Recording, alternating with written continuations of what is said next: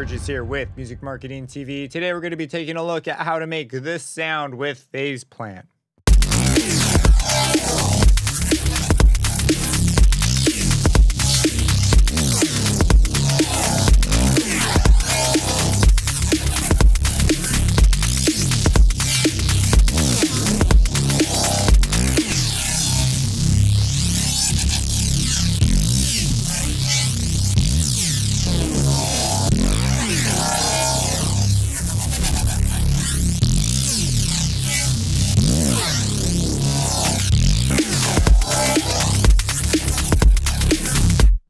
All right, so we're going to be checking out how to make that. So that gives you an idea of sort of what it is by itself. Uh, so let's really quick run down the general idea of what the heck's going on here. Uh, let's start off at the end of the chain and actually work our way the other way because there's a number of things we kind of have to turn off. So starting off at the very end, we have an L2. This thing is just there for mastering purposes. I wanted to slam it pretty dang hard. And I wanted you to hear it kind of in the context I intended the patch to be in. Uh, so we'll turn that off. This originally was actually part of a sound design session where I wanted to make 10 sounds and I got really distracted with, with one. so uh, then we hit what's called the pavement slammer. That's what I've named this. In fact, I think I'm going to extend the patch out and add a couple more macros and save it as like a, a real proper preset. But in here, there is the snare side chain and the kick side chain. They are just uh, for the side chains. If you listen, this is the setting I settled on for the kick uh, or for the snare side chain.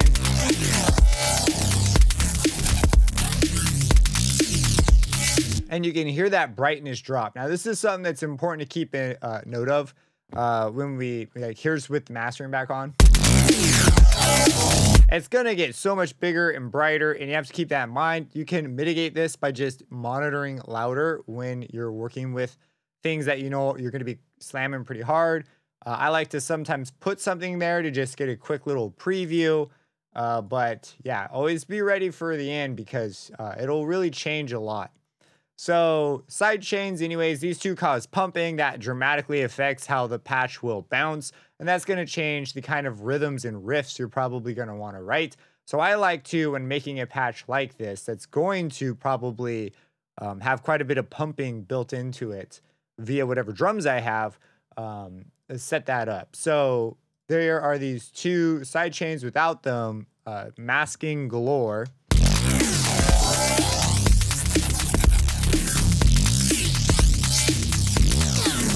So you just hear everything just takes a backseat because the bass is so dang big. You got to pick something. I went with a sidechain solution. You do things with an EQ. There are a lot of options.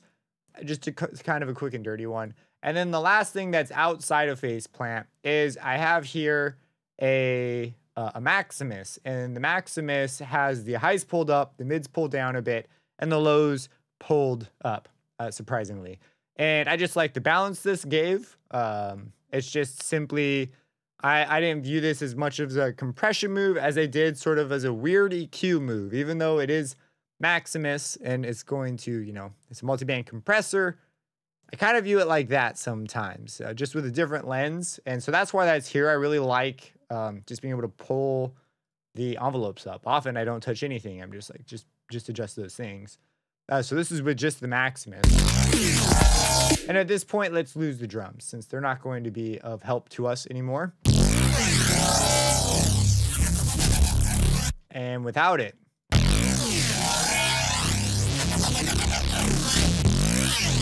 So a lot of mids. I if you're gonna do something like this, you gotta pick something to scoop out. This sound is massive, it's huge. You gotta remove something so you have room for other things in your track, especially if you know if you want drums to come through, you're gonna need to carve it out a bit. So, anyways, that's what all these moves are. I'd call them carving moves, picking out some interesting spectrums, uh, and then a mastering move. So after that, we hit the actual plugin itself. And let's take a look at the MIDI real quick. So this patch is made to be monophonic. The polyphony has been set to one. I have it on legato and I have a glide time of 358 milliseconds. This glide is super important because it makes it so that, and the polyphony being one, so that notes slide when they overlap. So you can see there's the overlap, and that's what gives us those nice bends.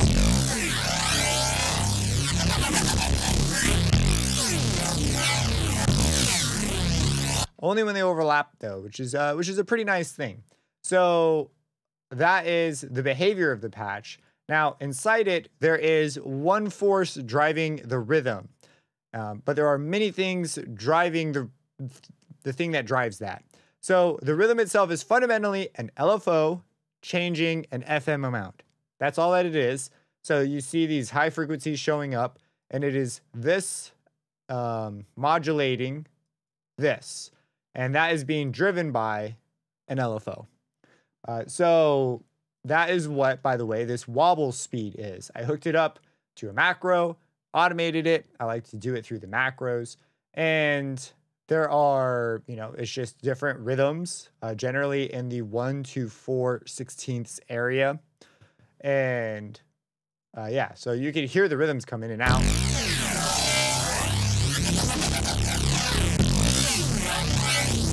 I liked uh, working with the synced version. I played around with the unsynced, but it just sounded cooler with the synced.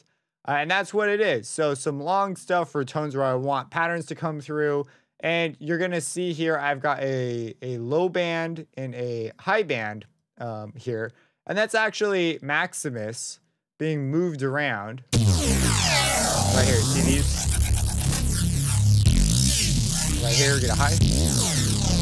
Or a low, that's the low one. But anyways, these move around and change where this curve comes in and out. So I'm gonna go ahead and take that off. But that's what these are. So I wrote out my part and then I wanted it to ebb and flow and have different things at different spots. So I often like to move these around. And because I boosted the lows and the highs, um, and by moving these around, I change where that hole, the mid band is, the thing that's being taken out, and it acts as a kind of like additional filter for me. So I like to do that kind of stuff. So that's what's going on there. Sort of picked to go with the drums and what I thought made sense with the rhythm that I wrote. Um, and so fundamentally, we have a FM driven LFO patch. Like it's essentially what's going on. So continuing our way backwards, uh, we hit our effects. So the effects stack is pretty straightforward. It is simply a distortion EQ stack. And again, I'm scooping out mids, low mids uh, hugely, just creating a big pocket uh, for other things to go in so that it, it makes sense in a mix rather than just being this monsterish thing that takes up all the space.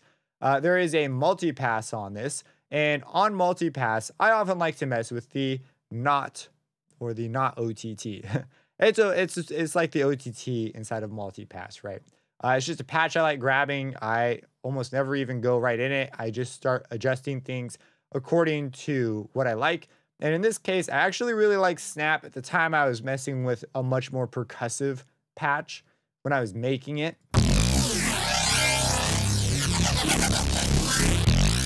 But the bound um, start of the things is being helped out by Snap. If we get rid of this, I honestly don't think it's going to be that big a deal. But let's go first over to these two. It'll the snap, I mean, won't be as big a deal. Um, there will be a timbre change for sure. So if we take out the distortion in the three band EQ, now you see the three band EQ sort of doing a little wiggle, a, a jiggle wiggle, and that is the random. Or no, is this the random? No, this is the LFO. The LFO has been connected to these things, and it's just to give some extra motion, changing it um, to help out the wobble. Um, I have the mids moving. It'd be cool to have the whole move. And you see, I've got this concept of a a part of the spectrum being removed um, to create sort of space and rhythm in a couple places. Here, it's more like phrase wise, where this is more driven by the LFO. So anything tied to this is going to be the rhythm of the patch. Uh, so that's what's going on there. I thought about doing a double stack because there are more down here. Eh, it's cool, but maybe for a variation, but I didn't have it in the final version you heard. Um, so let's just lose these two for the moment because they kind of come as a package. The distortion itself is just an overdrive. It's got some stereo, and the dynamics are driven quite a ways up, which really preserves the, the patch you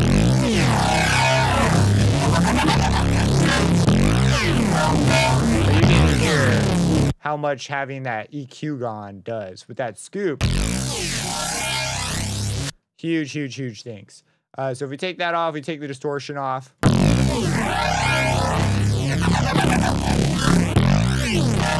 Now, the OTT is pulling crap up for us um, big time. So, if you're not familiar with OTT, it's over the top compression. It's basically upwards and downwards compression at the same time. So, stuff that's not soft gets pulled up, stuff that's too loud gets pushed down, and you push it into this region, and it creates this super just squash to heck thing. And that's why it's over the top. And if we take that off, um, that'll go away. It's very popular with sounds like this because it does wondrous things to them.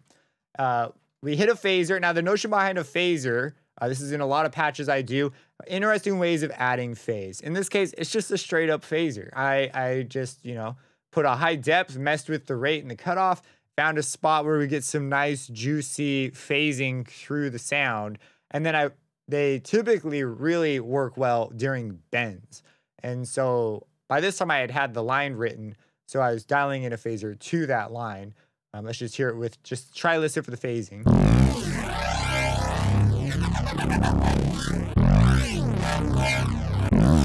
Yeah, now we'll get rid of it. Here it is now.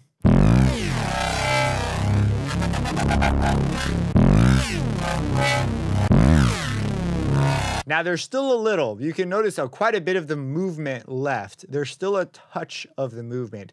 That comes from this unison. Um, is really helping out because it creates eight copies. It's been detuned and spread. I settled on the hard setting. Uh, there were, there's a bunch in here. Uh, I went with hard. And spread is uh, rather spread out, and the detune is actually way higher than I thought I was going to go, but it just works out. Uh, but before we get over here, just wanted to explain where some of the extra motion was coming from. Uh, we have a distortion. So the distortion, the drive control, and that's that's what I'm going for here, right? Just pump the heck up because what we're feeding into this thing is pretty tiny.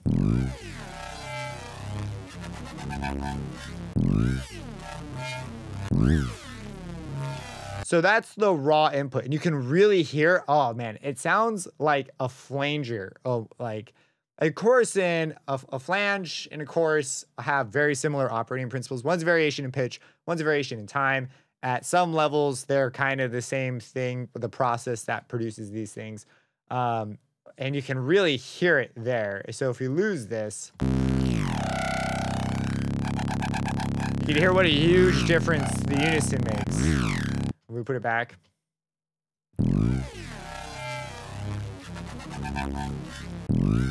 Night and day. Night and day. It's such a big difference. And in fact, these could be cool as a cool way to just split and make multiple patches. Like you could take this, turn off just this, and use it in some spots, and then other spots use the unisoned out version.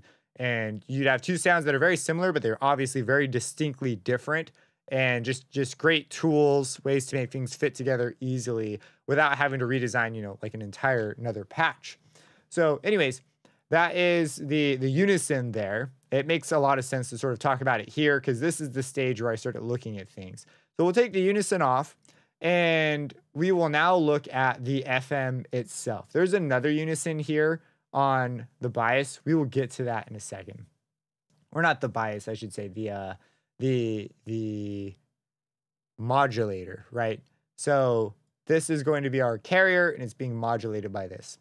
So the FM. The FM is a triangle wave. You could try a bunch of different types of wave, but our source sound is this thing. And I once I had this, I thought I had enough motion to really do something cool.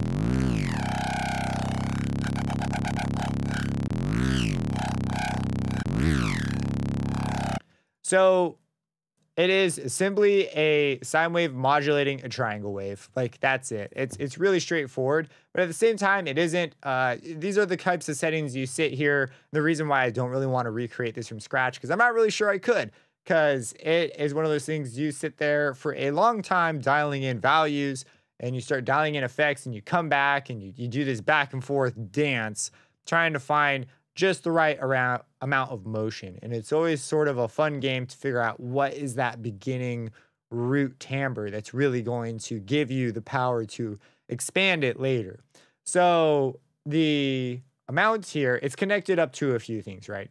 So there is an envelope driving this partially, and there is an LFO driving this partially. And they both come in, and you see this is barely moving. You see like 11%.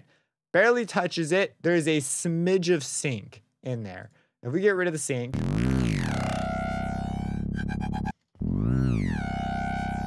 it's not going to be a big deal because the sync doesn't move. Put it back.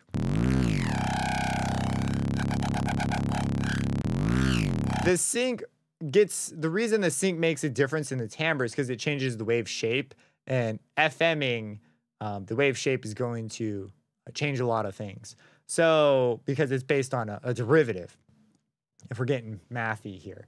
So the sync's always kind of a fun one to just touch up every now and then, just a little bit.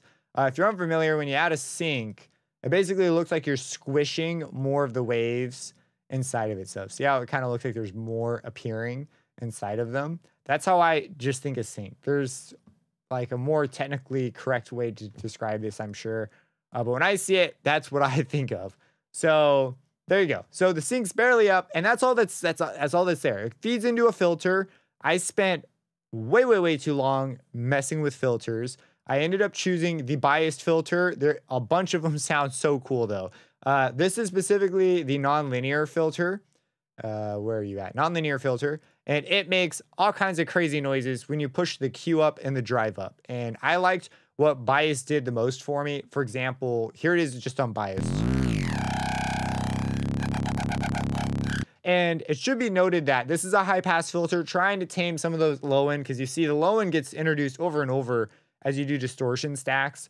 So I generally remove quite a bit of it early because I know it's going to come back anyways.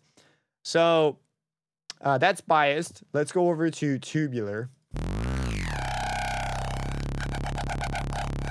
And let's try out, I don't know, let's try another. Here's fuzzy. Another one where you could simply change just a few settings and have a very different patch that kind of has a similar feel. So we'll go back to biased. I liked biased the most in this case. And it will act as a, sort of a static effect. There is an envelope driving this thing down here. And originally the envelope did a lot of other things, but I took all those things off and just had it solely to drive the filter. And I just had to turn the filter on over time to give us a unique sort of starting attack to the sound. And that's it. It wound up being a much simpler filter. Before it was connected to a whole bunch. You can see here it actually has rain over the phase modulation here as well. Uh, but it, it's just turned on to control that over time. So that it doesn't just start off at whatever modulation, it has a transition into that modulation. So that's the filter. And that's what's going on here. And that's how I picked the mode. It wasn't like some great, uh, like I foresaw it. I actually changed this a lot uh, to get the final sound.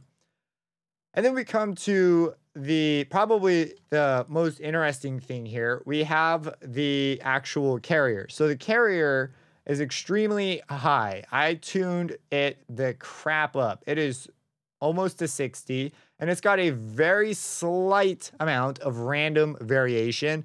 This is to keep things from getting static. If we get rid of this, um, it sits much more still.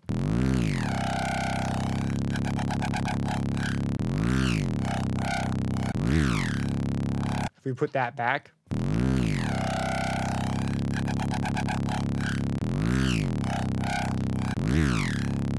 yeah, you hear these little like variations. This is this this smallest bit. You can see random minus 1.2. It's gonna vary by that amount, super, super tiny, but it adds that extra little bit of motion. The other thing that's big for this is the sync is moving with the LFO. And this, remember, has that wave scrunching property. And since FM is a wave shape dependent process, because it's dependent on a derivative, this is going to um, have some interesting properties to what's going on up here because it's it I'm not even sure how to put this into words. I think of bright high frequencies when I turn this knob up. That's what I think of uh, because it's going to be increasing the frequency sort of here. And the type of wave you pick, this is going to have really different effects because if a line is smooth, the FM will be smooth. If the line has is just straight lines like this one, you'll get two distinct tones. But if you have lines that have discontinuities, or or straight, you know, just straight drops. When you add sync, it's going to add some additional like straight lines in occasionally, and this will result in very um, much brighter timbre suddenly showing up for uh, math reasons. But so I went with the sine wave. Let me just show you. Here's the sine wave. Triangle will also sound good. There's triangle. Here's square.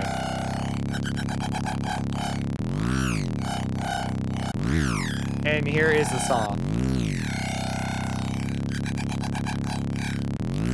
So you see these two have like way crazier uh, upper register stuff going on.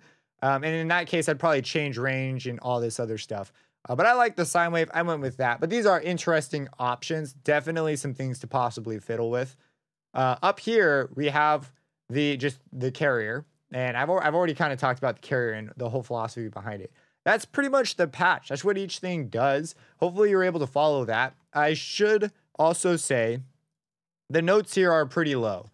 Um, if we were to write these notes higher, the FM just doesn't quite work because of how high this carrier is. The fact that we're writing things so low and then tuning them up so high is kind of what makes it work.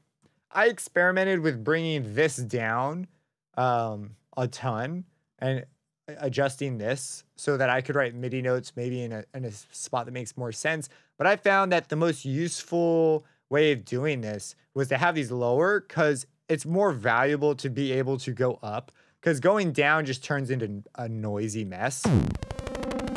Not a lot of reason to sacrifice a useful upper register to this. Like occasionally you could come up here for cool riffs and stuff, and this is so dang low that this is actually pretty usable. Anything past this is going to be completely, you probably won't ever use it. So that's kind of why I left it in the range it is. I thought about moving it around and decided it was not worth the trouble and I liked where it was. The downside is is when you're playing the patch like as a preset, um, it if you're you know not changing the range of your keyboard, it's just not going to be that great. So preset browsing wise makes it a little trickier if you have it as a preset. So I often like to put things in the description like play low, low bass thing, play low notes or something. Um, that's how I like to do it because I actually prefer this for for the reasons I just said. But anyways, that's the patch. I call it Pavement Slammer. Uh, but putting everything back, we'll, we'll go ahead and add on things one at a time so you can sort of hear it come together. So, you know, we're we're here, we add our distortion, and we put our, well, let's put our unison on first. So we, we put our unison back.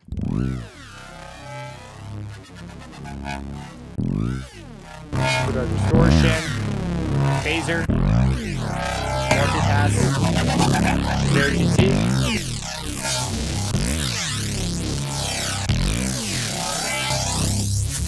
bring our drums in.